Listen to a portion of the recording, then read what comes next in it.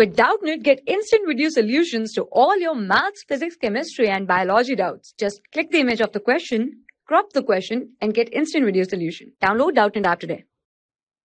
The question is which of the following molecular orbital has two nodal planes? So basically what do you mean by a nodal plane? Nodal plane is the plane where the probability where the probability of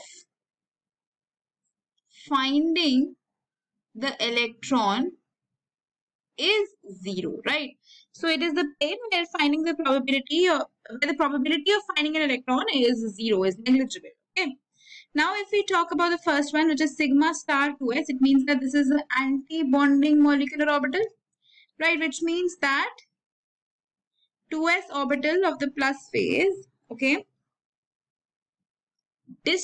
destructively interferes, destructively interferes with the other 2s orbital, only then ABMO will be formed, antibonding molecular orbital will be formed.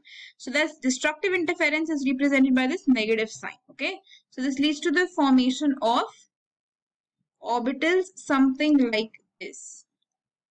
Okay, this will be plus, this will be minus, right?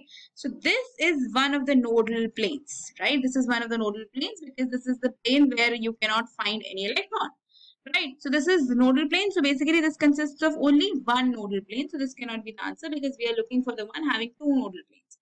Talking about pi star 2py again, this is also an antibonding molecular orbital. So this also undergoes destructive interference, right? So if uh, this is the uh, 2py, okay, and this is again a 2py orbital, but they are undergoing a destructive interference because an antibonding molecular orbital is formed. So what is going to happen here?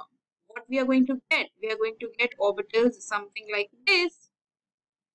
This will be plus, minus, minus, plus. So there will be two nodal planes here, right? The first nodal plane will be here the other nodal plane will be here. So the, both the nodal planes are going to be perpendicular to each other. They, they're going to be at 90 degrees to each other. So this is the first nodal plane and this is the second nodal plane. So basically this consists of two nodal planes and this is the correct answer for the question. Now, uh, if we talk about the other ones as well, which is pi 2py and pi to px. Now, these are bonding molecular orbitals, right? Both of these are bonding molecular orbitals and both of these are going to form the same they are going to uh, form same kind of uh, orbitals. Okay how? Now if we talk about 2py suppose uh, this is 2py okay and they are going to undergo constructive uh, interference now. So this is what we are going to get plus minus. So this is one nodal plane that we are going to get here right? So this can be 2py 2py also? Or this can be the case of 2px 2px also right? So the case is going to remain the same. Both are going to have the have going both are going to have one nodal plane only right? And the uh, the orbitals will also be drawn in the same way okay? So basically both of these have one nodal plane. This also has a one nodal plane.